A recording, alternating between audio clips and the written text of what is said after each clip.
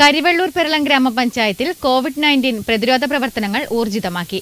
ജനപ്രതിനിധികൾ രാഷ്ട്രീയ പാർട്ടി പ്രതിനിധികൾ പോലീസ് ആരോഗ്യവകുപ്പ് കുടുംബശ്രീ എന്നിവരുടെ പൊതുയോഗവും വ്യാപാര വ്യവസായ സംഘടനാ നേതാക്കൾ എന്നിവരുടെ പ്രത്യേക യോഗങ്ങളും നടത്തി.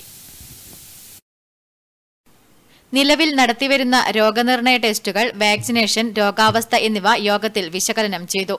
മുപ്പത്തിരണ്ട് രോഗികളും നൂറ്റി തൊണ്ണൂറ്റിരണ്ട് ക്വാറന്റൈനിലുള്ളവരുമുണ്ടെന്നും ടെസ്റ്റ് പോസിറ്റിവിറ്റി നിരക്ക് പന്ത്രണ്ട് ദശാംശം അഞ്ച് ഏഴ് ശതമാനമാണെന്നും യോഗം വിലയിരുത്തി.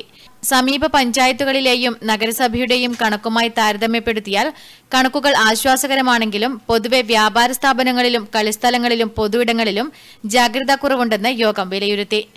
റോഡുകളിലെ ആൾക്കൂട്ടങ്ങൾ ഒഴിവാക്കുവാനും പൊതുയിടങ്ങളിലെ പരിപാടികൾ പരമാവധി ഒഴിവാക്കുവാനും ഒത്തുചേരുമ്പോൾ ആളുകളുടെ എണ്ണം പരിമിതപ്പെടുത്താനും ഹാളുകളിൽ എഴുപത്തിയഞ്ച് പേരിലധികം ഇരിക്കാത്ത വിധം കോവിഡ് മാനദണ്ഡങ്ങൾ കർശനമായി പാലിച്ചുകൊണ്ട് പരിപാടികൾ നടത്തുവാനും വിവാഹങ്ങൾ അടക്കമുള്ള ചടങ്ങുകൾ പഞ്ചായത്ത് പോലീസ് വാർഡുതല ആരോഗ്യ ജാഗ്രതാ സമിതി എന്നിവരെ അറിയിച്ചുകൊണ്ട് മാത്രം നടത്തുവാനും എല്ലാ വ്യാപാര സ്ഥാപനങ്ങളും തട്ടുകടകളും അടക്കമുള്ള വഴിയോര കച്ചവടങ്ങളും രാത്രി എട്ട് മണിക്ക് മുൻപേ അടച്ചുപൂട്ടുവാനും പോലീസ് പരിശോധന കർശനമാക്കുവാനും തീരുമാനമെടുത്തു.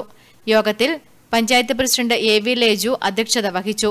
ജില്ലാ പഞ്ചായത്ത് അംഗം M Raghavan block panchayat vice president M V Appukuttan panchayat vice president T Gopalan secretary Santhosh Kumar V health inspector M Madhusoodanan തുടങ്ങിയവർ പങ്കെടുത്തു.